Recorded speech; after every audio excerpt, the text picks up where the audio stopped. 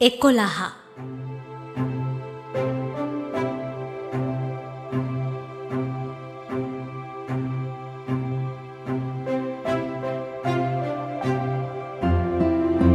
මෝටජෙට් බෝට්ටු පන්තියක් මුරකාවල් සහිතව අපේ කල්පිටිය කඳවුරට කැඳවාගෙන යාම සඳහා එක්දහස් නවසය අනුවහතරේ සැප්තැම්බර් දහට උදේ අපි කොළඹ වරායෙන් පිටත් වුණා.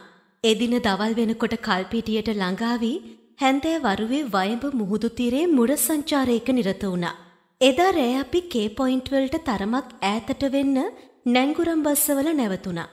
LTT එකේ මොකද්දෝ ක්‍රියාකාරකමක ඉඟියක් හඳුනාගත්තා කියලා නිරීක්ෂණ කණ්ඩායම් එදා මට දන්වනකොට මට මතක හැටියට හැන්දෑවේ අට විතර වෙලා තියෙන්නට ඇති.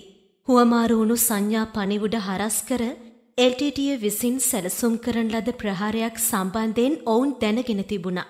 ඒත් එක්කම මුහුදේ බෝට්ටු එහා මෙහා යන සද්දබද්දත් ඇහිලා තියෙනවා.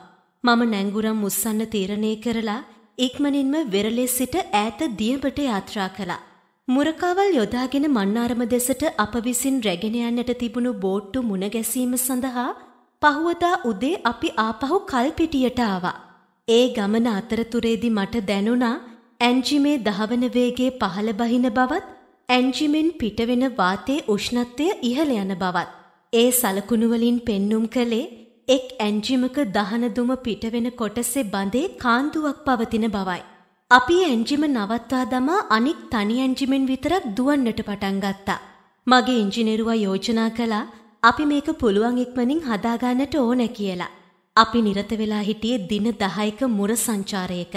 ඉන් දෙවැනි දවස වෙනකොට අපි එක් ඇන්ජිමකට සීමා වෙලා තිබුණා. ඉතින් අපි මන්නාරමේ දකුණු කලාපය අසලට බෝට්ටු ටික ගිහින් ඇරලවලා වන් කාලරීෆ් ලෙස සාමාන්‍ය ව්‍යවහාරය හඳුන්වන බඹ එකයි කාලක් ගැඹුරින් ගල්පර පිහිටි ඉසව්වේ නැංගුරම් දැම්මා. ඒ වෙලාව තවමත් දහනවවෙනිදා උදේ පාන්දර. ඊළඟට අපට යෙදී තිබුණු රාජකාරිය වුණේ විසිවැනිද උදේ තෙල් යාත්‍රා පන්තියක් මුරකාවල් යොදාගෙන කල්පිටියේ සිට උතුරට ගමන් කිරීමටයි.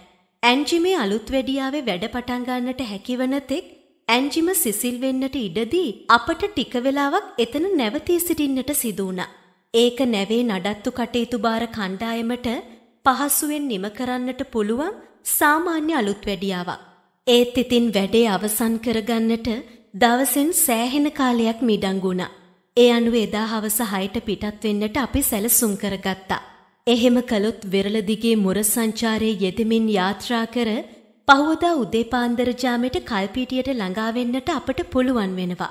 ඒත් අපි ওই දේවල් ගැන වෝඩ්රූම් එකේ කතා කර කර ඉන්න අතරේ අපි මෙතනම නැවතී හිඳමින් LTT සම්ප්‍රේෂණ ටිකක් තවදුරටත් අධීක්ෂණය කළොත් හොඳයි නේද කියලා මගේ විධායක නිලධාරියා යෝජනා කළා.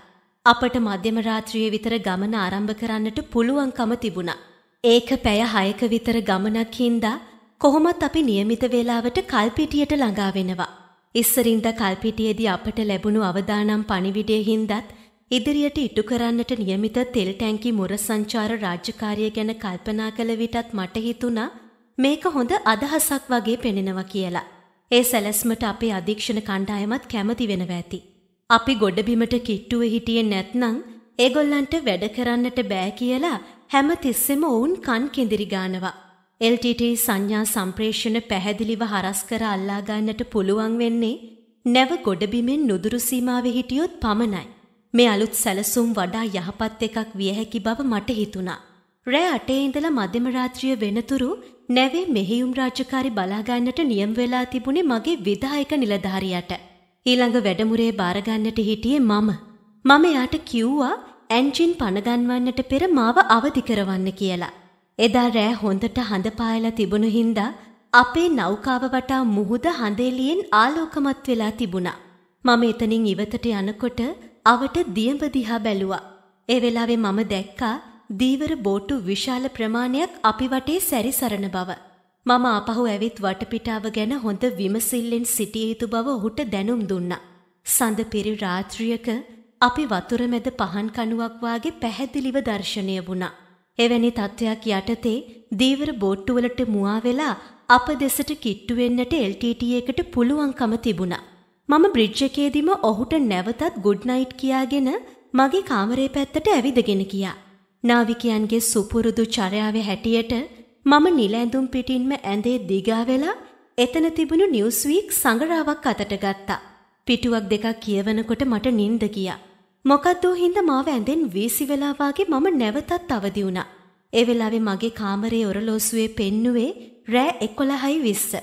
අපි ගල්පරේක හැපිලා නැව ගොඩ ගහලා ආපදාවකට ලක් වෙලාදෝ කියලා හිත හිතා මම බ්‍රිජ් එක පැත්තට කලබලෙන් දුවගෙන ගියා. මම බ්‍රිජ් එකට කිට්ටු කරනකොටම මගේ විධායක නිලධාරියා ඇවිත් සර් අපිට ගැහුවා කිව්වා.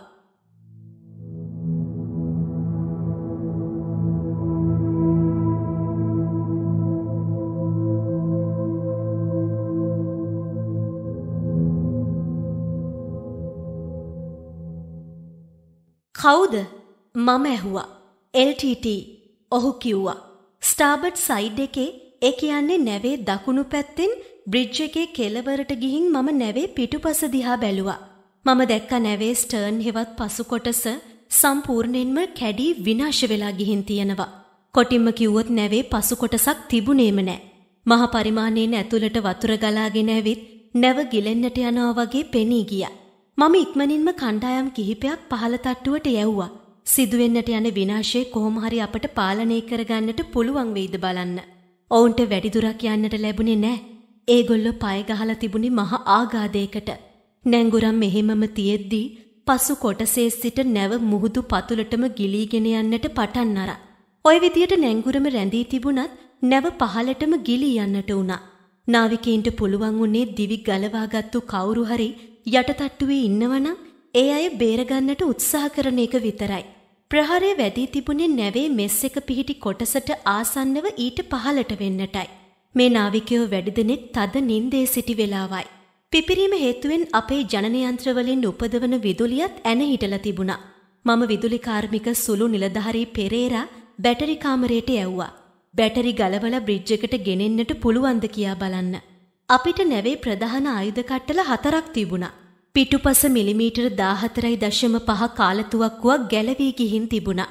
මිලිමීටර් 25 ඉදිරි කාලතුවක්කුව විදුලි බලය නැතිව ක්‍රියාත්මක කරන්නට බෑ. හිතින් මට ඉතිරි වෙලා තිබුණේ නැවේ දෙපැත්තේ සවිකර තිබූ අතින් ක්‍රියා කරවන මිලිමීටර් 5 ස්වයංක්‍රීය තුවක්කු දෙකක් විතරයි. ඒත් එදා රෑ වෙඩික්කාරයෝ කොයි තරම් කලබල වෙලා හිටියද කියනවනම් තුවක්කු බැරල් එක සිසිල් වෙන්නට යම් තරමක කාලයක් ගතවන බවත් ඔවුන්ට අමතක වී තිබුණා. පටියක අමුණා එක දිගට පතරොන් ඇතුළු කරන ආයුධයක කොකා එක දිගට මෙරිකගෙන හිටියොත් ඊටමත් සුළු තප්පර ගණනකදී පටියේ තියෙන මුළු පතරන්තෝගේම එක පිට පත්තු වෙලා ගිහින් බැරල් එක හොඳටම ගිනියම් වෙනවා. අසීමිත ලෙස බැරල් එක උණුසුම් වෙච්චි වෙලාවට පතරොන් ප්‍රසාරණය වී තුවක්කුවේ කුටීරේ හිර වෙනවා. එක තුවක්කුවක මෙහෙම වෙනවා දැක්කම මට වෙඩික්කාරයින්ට කියන්නට සිද්ධ වුණා ටිකක් නැවතිලා අනික් තුවක්කුවෙන් හරි පිළිවෙලට වෙඩි තියන්න කියලා. ඒ ඉතිරි වෙලා තිබුණු තනි තුවක්කුවෙන් ඉදිරියට LTT බෝට්ටුවකට වෙඩි තියාගන්නට අපිට පුළුවන්කම ලැබුණා. ඒක අපට සමීප වෙන්නට මත්තෙන් පිපිරිලා ගියා. ඒත් තව බෝට්ටුවක් එමින් තිබුණා. අපේ වෙඩි පහරවල් මේ දෙවනි බෝට්ටුවේ වැදිලා ආපහු වීසි වෙන්නට පටන් ගත්තා. ඉන් පැහැදිලි වුණේ ඒ බෝට්ටු ආරක්ෂක තහඩු වලින් වට කරලා තිබෙන බවයි. අපි රේඩියෝ එකට බැටරි සම්බන්ධ කරලා ගොඩබිමට කතා කරන්නට ලෑස්ති වුණා විතරයි. ඒ බෝට්ටුව අපේ නැවේ ගැටිලා ඊළඟ පිපිරීම හටගත්තා.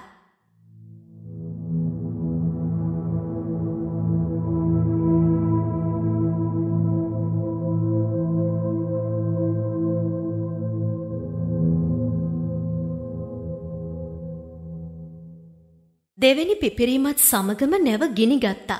ඒ සමගම නෞකාව වේගයෙන් ගිලෙන්නට පටන් ගත්තා.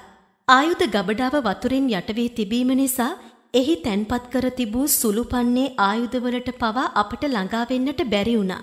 ඇත්ත වශයෙන්ම සියලු දෙනාම දැඩි කම්පනයට පත්වෙලා කුමකින් කුමක් කරන්නද කියා හිතාගන්නට බැරිව අන්දමන්ද වෙලා හිටියේ. ප්‍රතිවාදී බෝට්ටු අපේ පැත්තට එන බව මුලදිම දැකලා ඔවුන් සමග ඒ මොහොතේම සටනක් පටන් ගත්තනම් මේක සම්පූර්ණයෙන්ම වෙනස් කතාන්දරයක් වෙන්නට ඉඩ තිබුණා කියලා මට හිතෙනවා. නමුත් මෙතන සිද්ධ වුණේ නැව්පතියා සහ නැවියෝ නිදාගෙන සිටි අතරතුරේ ඇතිවුණු හදිසි පිපිරීමකින් අප සියලු දෙනාම විශ්මයට පත් කරවපු එක. ජීවිතේ බේරගෙන මෙස් එකෙන් එළියට පැනගත්තු නාවිකයෝ ඩෙක් එකේ උඩට ආවේ දැඩි කම්පනයකට ලක් වෙලා. සතුරා ඒ වෙනකොටත් සටනෙන් හතරෙන් තුනක්ම දිනලා තිබුණා. ඔව්, ඒක එකම ජංජාලයක් වෙලා තිබුණේ. එක නාවිකයෙක් ජීවිතාරක්ෂක ඇඳුම් කට්ටල සහ බෝයාවල් මූදට වීසි කරන්නට පටන් ගත්තා. ඒක ඔහු එතරම් දුරදිග කල්පනා නොකර කළ වැඩක් වාගේ තමයි පෙනුනේ. ඒ පාවෙන ආම්පන්න අල්ලගන්නට මුහුදේ කිසිවෙක් හිටියේ නැහැ. අපි සියලු දෙනාම ඒ වෙනකොටත් හිටියේ නැවේ. අපේ සටන පැය භාගයක් විනාඩි 45ක් විතර කාලයක් පවතින්නට ඇති. අපේ කට්ටියට නැවත පියවි සිහිය එන්නට පටන් ගත්තේ සටනේ අන්තිම හරිය වෙනකොටයි. ඔය අතරතුරේ තමයි දෙවෙනි පිපිරීම හටගත්තේ. නැව සම්පූර්ණයෙන්ම ගිලා බැහැලා මුහුදුපත් වෙන්නට යනවා වාගේ පෙනෙන්නට පටන් ගත්තා. අපි මොකක්ද ඒ වෙලාවේ කරමින් හිටියේ? ගිලෙන නැවක් බේරගන්නට සටන් කිරීම නොවේද? අපි නැව අත්හැර දමා යා යුතුයි කියන තීරණය මම ගන්නකොට නැවේ බ්‍රිජ් එක මට්ටමටම වතුර ඇවිල්ලා. මේ වෙනකොට අපි සියලු දෙනාම හිටියේ එකම කාමරයකට කොටු වෙලා වාගේ. බ්‍රිජ් එක පිහිටි කොටස විතරයි ඒ කිව්වේ බ්‍රිජ් එකයි ෆ්ලයින් බ්‍රිජ් එකයි විතරයි වතුරෙන් උඩට මතුවෙලා තිබුණේ. මෙතනින් අපට කෙලින්ම මුහුදට බහින්නට පුළුවන් වුණා. මගේ විශ්වාසය හැටියට මම වෙන්න ඇති අන්තිමටම බ්‍රිජ් එකෙන් පිටතට ආවේ. අපි ඒ මොහොතේ කළේ ගින්නකින් බේරී ගොස් පණ බේරා ගැනීම පමණයි.